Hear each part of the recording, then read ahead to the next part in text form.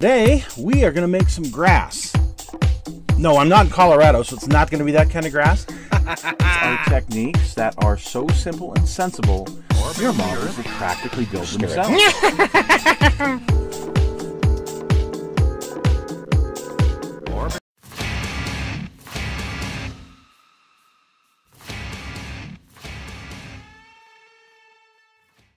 Hello, folks. It's Mad Dog Merv. Welcome to today's show. And today, uh, we're going to paint a car body. Now, there's a lot of different things you can use to paint a car body. There's uh, spray cans and get pretty good results. The problem I have using a spray can, and you can always polish out any of the um, um, orange peel that you get, but with a spray can, you're usually looking at three to five days easily before you can really get on it and do anything. Um, there's some acrylics out there that are really good. There's scale finishes, which I highly recommend their their finishes. They're great. They're, they go on smooth. They look wonderful. Have a nice gloss to them. You know, they're also 12 bucks a bottle. So, um, you know, that's great. There's other things you can use. Uh, but today, what we're going to look at is this little old bottle here. So most of us have some of these laying around that still say 19 cents on them. They're still viable. This one I bought new not too long ago and paid, I don't know, like three bucks for it. But it's gloss black. And I'm going to show you how I paint a glossy paint job using these simple little paints. The nice thing about them is, is the way I do it, you can get on that paint within hours. And be polishing it, be doing whatever with it. Um, it really speeds up the process as far as trying to get your project done. So today we are going to do Dom's GTX. We had uh, reviewed that not too long ago. Um, it's still available on Amazon for under 20 bucks. That's, you know, a real good deal. And we are going to take that, we are going to spray it with this. I'm going to show you how I do it. There's lots of other ways you can do it. The results are going to be good. Not perfect, but good. And is it good enough for you the way that we're going to do it? You'll have to determine that for yourself. Uh, you can polish it out, and that'll be in another video that we're going to do the actual polishing to get it even smoother. But today, stick with Mad Dog Merv. I'm going to show you how to paint with these Testors little bottles and an airbrush and do a nice gloss paint job on a car. So here's the subject of today's um, review. Uh, we're going to use some 1147 gloss black by Testors. It's in this little bottle, uh, 2011. Hmm. So yeah, that's a few years old. I just bought it.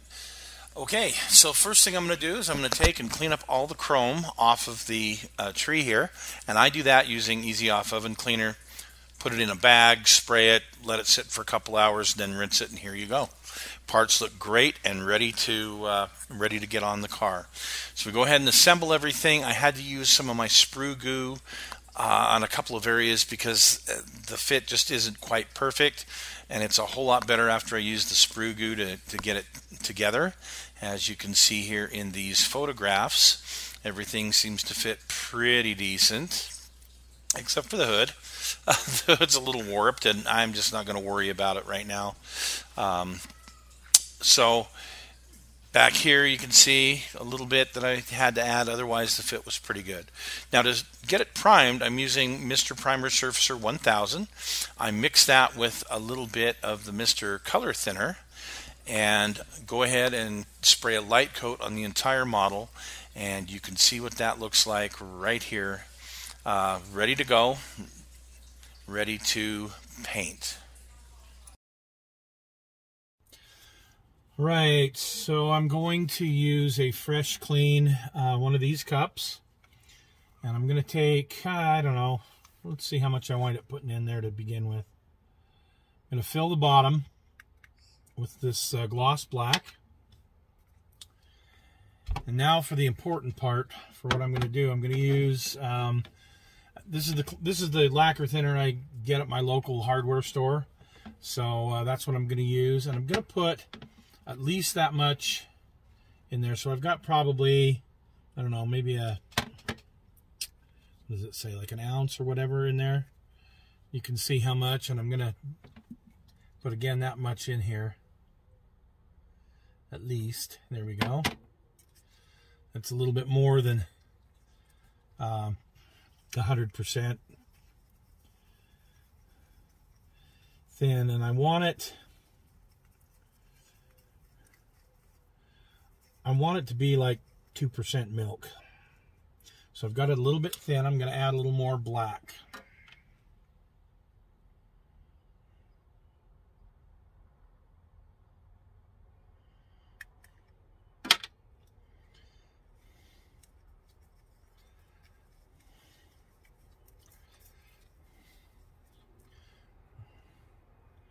Okay. Um, it's nice and thin. Okay, I'm using my good old Iwata um, Revolution CR that I've had forever. I've had this for many, many years. I did just clean it out.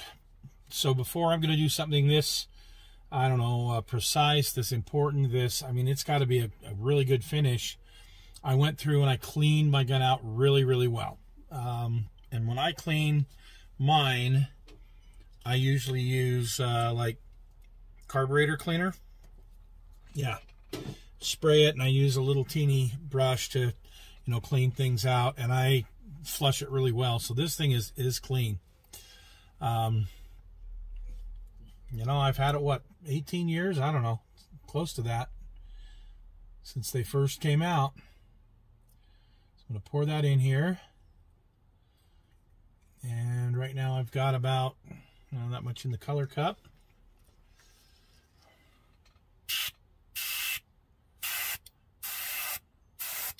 Okay.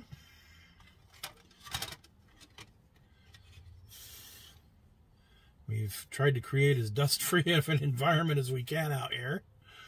Um, we'll see how this goes. So now my first coats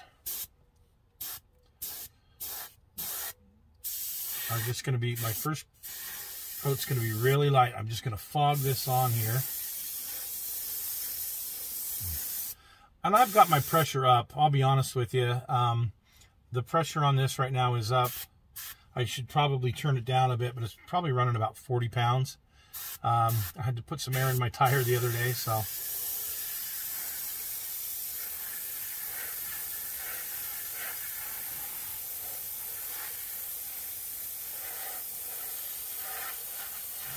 Like I say, I'm just going to fog it on here.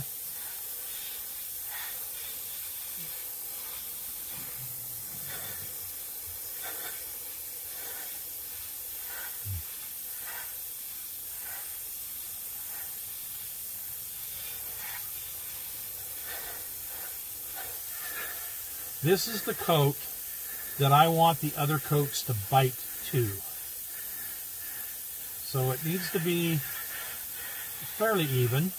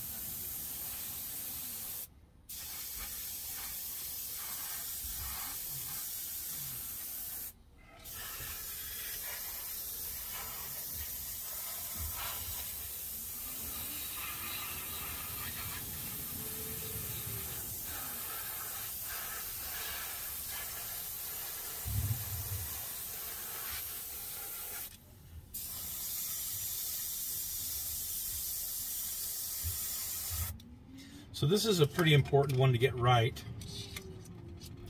because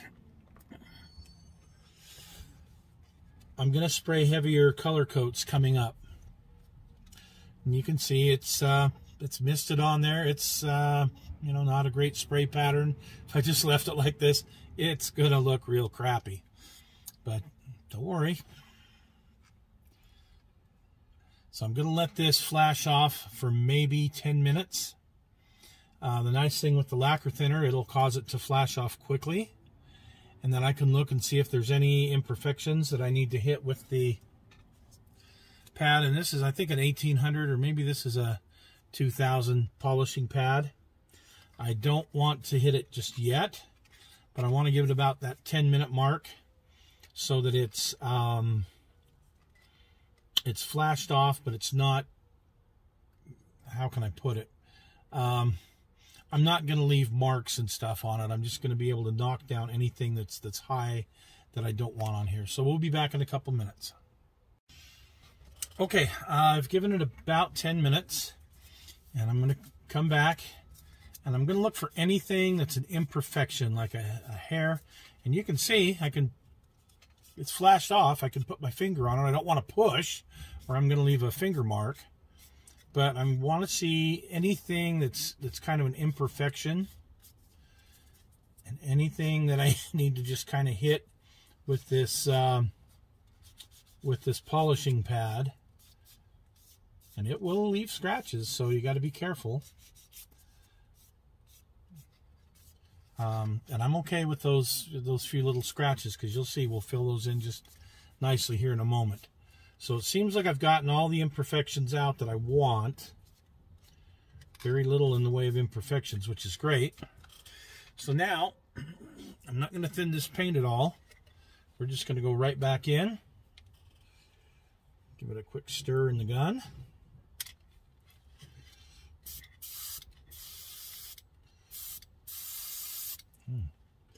Slopped a little bit out there, okay? And we're going to give it a little bit thicker coat, a little more, make sure we're a little more even.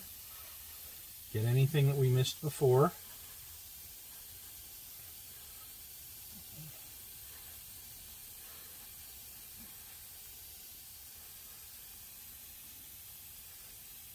I'm not really fogging this on. I'm putting this on a little bit thicker.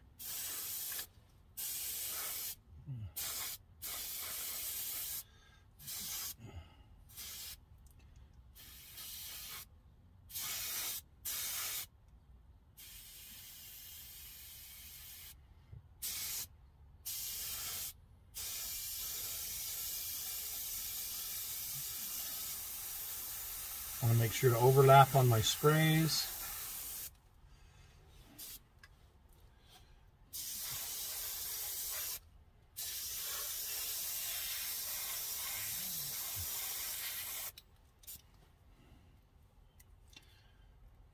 Get some more ready to go. Don't have to do any mixing. Dang, I keep spilling it. Sorry, I keep slopping it out of my cup there.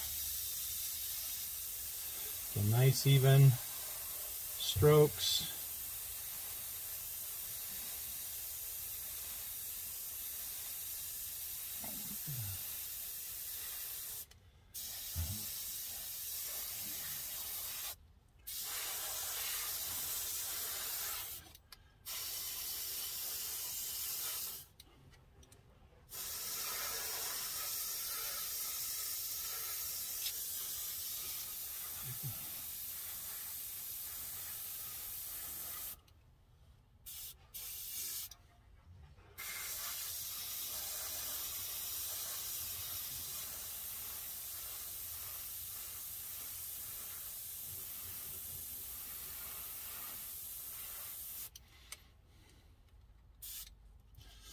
Okay, I got to put some more air in the compressor. I can hear it running low. Be very careful with handling this.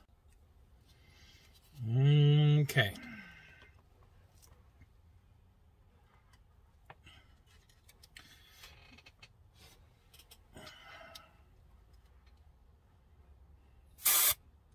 Oops.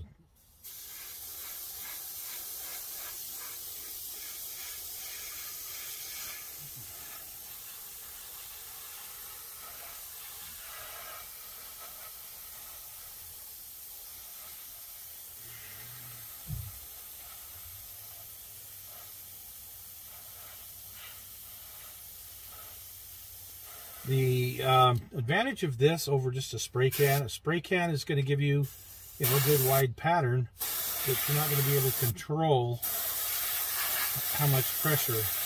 Where with this dual action airbrush, I control that right here on my finger.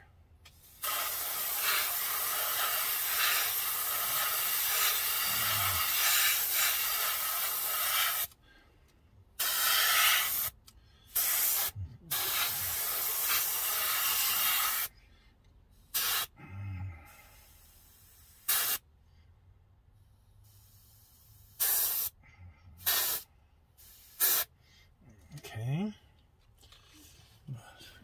Can look around this, see how I feel.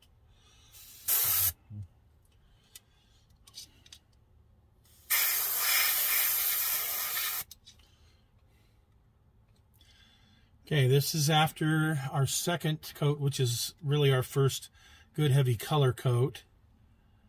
And you can see how it's looking. This flashes off very quickly now, so I'm not going to give it any real time. I am going to look at it and see if there's any imperfections that are glaring that I need to take care of. I don't see anything. So now, I'm going to take some of this lacquer thinner. You see about that much.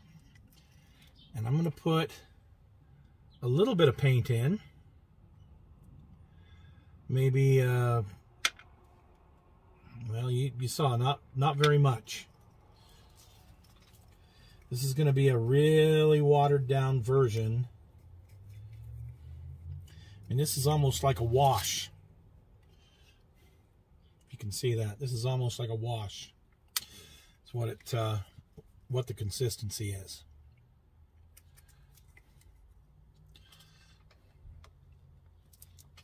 Now the idea here is to have it kind of heavy with the um, lacquer thinner because we want to kind of burn in this paint, if you will.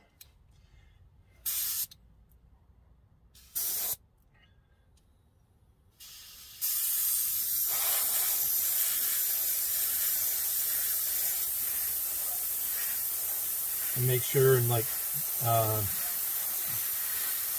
Get really good coverage though with this.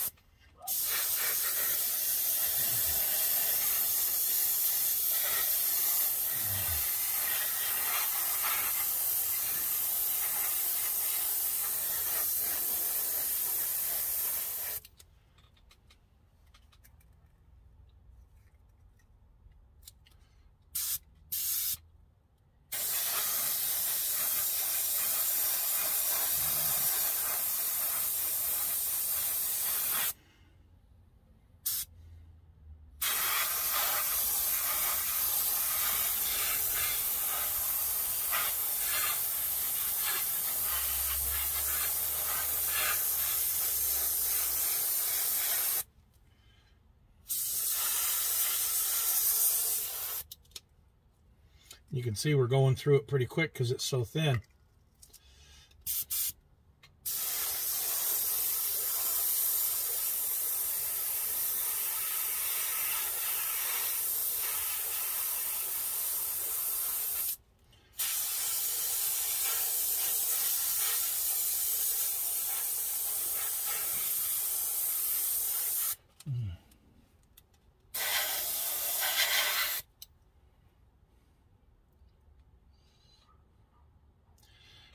Around for anything that seems imperfect. If I've got any, you got to be careful because if you if you stop at a at any point on here when that's blown out at that higher pressure, you're going to get a run or a sag or a puddle.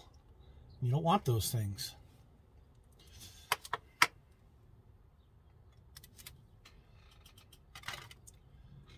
Now, just because I am the way I am. I'm going to mix up a little more color. And you see I got about that much. And just a little bit of a little bit of black.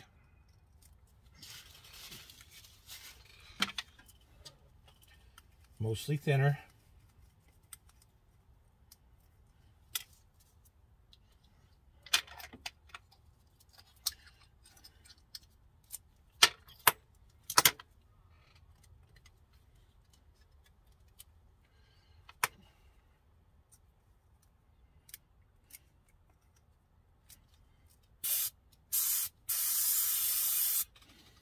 Looks like I'm spraying window tint.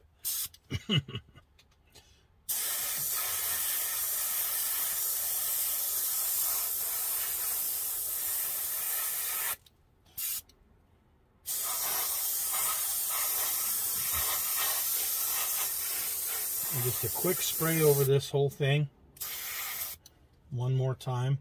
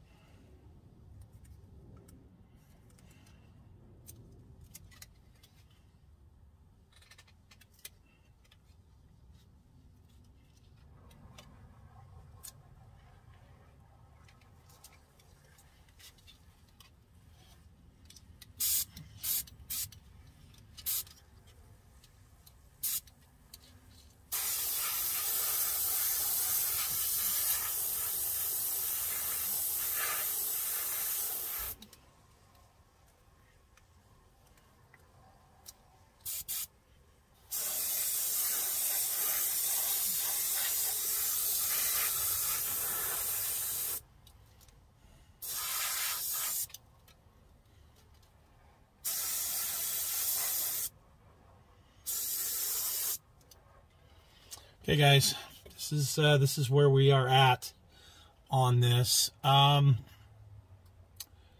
if I want a more perfect paint job, then I'm definitely going to need to uh, polish it out so that it is perfectly smooth and flat. But right now, um, it's looking pretty good. We're going to need to give this some time.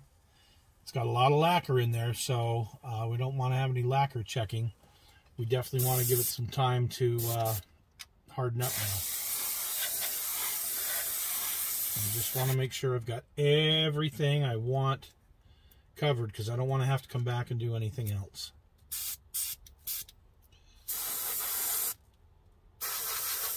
Sure, all my mirrors are done.